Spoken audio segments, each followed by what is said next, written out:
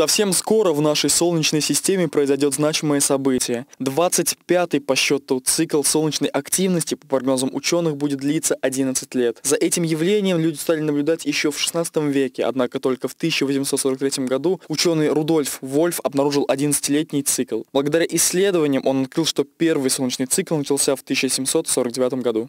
А, долго очень шли вот эти вот, по большому счету, исследования, что именно цикл 11 лет составляет цикл этот 11-летний достаточно долго проявлял себя как стабильная величина, то есть наблюдения подтверждали, что действительно такой цикл, э, он существует по э, активности Солнца. Но в дальнейшем ситуация несколько изменилась. То есть последние годы э, цикл солнечной активности, общем-то, показывает себя странным образом. Если говорить простыми словами, солнечный цикл – это появление солнечных пятен, областей на поверхности Солнца, которые темнее окружающих их фотосферы, так как в них сильное магнитное поле подавляет конвекцию плазм и снижает ее температуру примерно на 2000 градусов. Однако помимо пятен, солнечный цикл сопровождается и другими явлениями – рентгеновскими вспышками, корональными выбросами массы, корональными дырами. Все эти явления приводят к возмущениям в солнечном ветре, что сказывается на магнитном поле Земли, вызывая геомагнитные бури и полярные сияния. Однако прямого воздействия на организм человека солнечные пятна оказать не могут.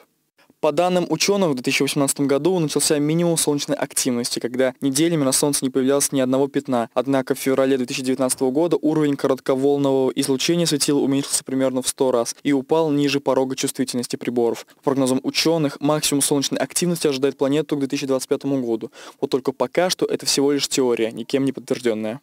Есть такие даже теории, которые говорят, что внутри Солнца как бы идет перемешивание, прекратилось вот этот процесс э, ядерных реакций, они, конечно, потом, видимо, опять возникнут, но и такой подход есть. Э, окончательных выводов делается очень-очень много. Теорий строится также много, это очень сложная система, так, объяснить то, что там происходит, э, очень проблемно, и поэтому любые работы, которые в области этой делаются, ну, они приветствуются мировым сообществом научным.